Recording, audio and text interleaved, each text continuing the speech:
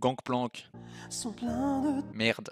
Ils Sont tellement cons. qu'ils passent. Leur temps à mourir alors qu'ils ont un slow, un bonus de move speed, un anti-CC, un heal et un sort de farm à distance. Ils ont du 2 de QI et heal. mérite. Un bon gros nerf sur leur champion de con. Ils sont nuls. À tous les one trick pony. Gangplank. Sachez que je vous en... Hul.